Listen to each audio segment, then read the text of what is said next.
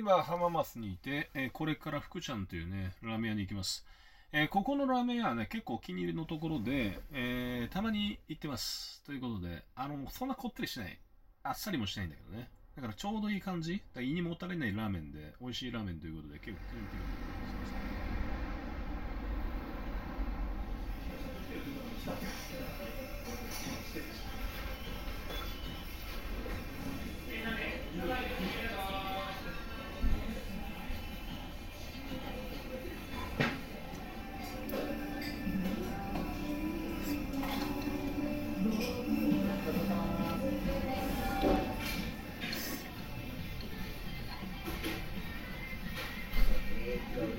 美味しかったですね。ええ。